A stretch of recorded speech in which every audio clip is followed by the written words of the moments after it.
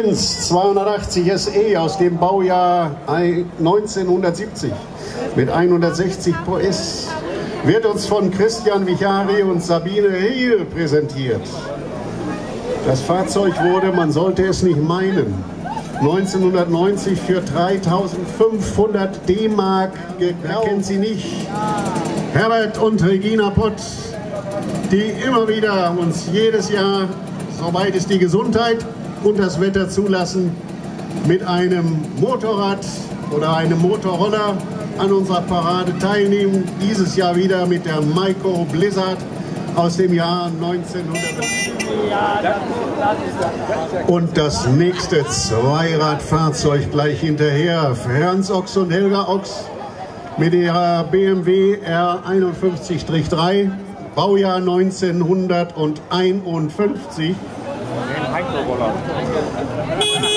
Gegen alle Vorschriften, aber heute mal herzlich willkommen ohne Sturzhelm.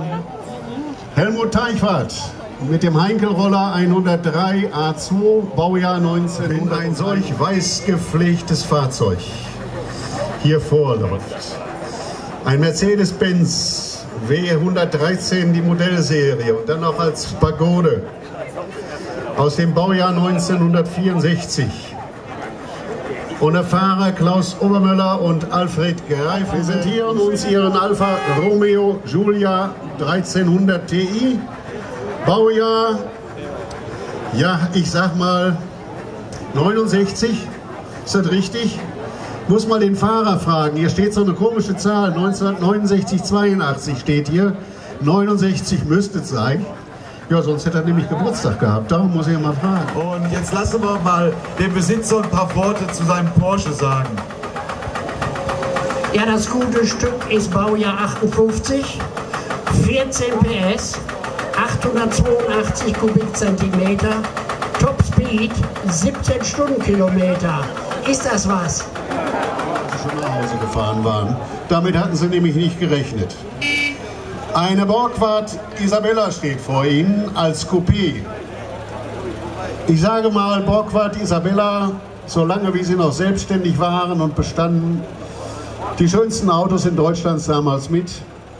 Leider wurde die Firma dann aufgekauft und unserer diesjährigen Klassik, aber nicht nur unserer diesjährigen Klassik, sondern vieler Klassikveranstaltungen und Oldtimer-Veranstaltungen in Essen der Ford Galaxy 1500 XL Sunliner V8 352 CUI. Von uns Insidern unser Gummibärchen-Auto genannt, weil wir immer jeder, damit die Stimme gut bleibt, sind wieder mit ihrem Porsche 356C 1600 Kubik SC dabei, Baujahr 1963. Es ist eine USA-Ausstattung. So wurde er gefertigt und aus 200 PS. Manuel und Horst Feldmann präsentieren uns dieses Fahrzeug, das der Rallye als Vorausfahrzeug vorausgefahren ist. Es handelt sich um ein original historisches Fahrzeug, Gruppe B. Der Opel wurde von Vater und Dagmar Arnolds präsentieren uns mit weißer Schleife. Was ist das denn? Frisch verheiratet? Herzlichen Glückwunsch! Yay. Das kostet aber noch gleich eine Kleinigkeit, mein lieber Franz. Helmut Fuchs und Dagmar Arnolds, frisch verheiratete, eine seltene Mercedes-Heckflosse. Warum Heckflosse? Gucken Sie doch mal einfach nach hinten. Da ist so ein kleines Flösschen dran oder Flößchen, besser gesagt. So sagen die Liebhaber dieses Autos auch zu ihrem Auto. Es ist ein Sechszylindermotor. Er wurde 1985 umfassend geschweißt und der Original Sechszylindermotor wieder eingebaut.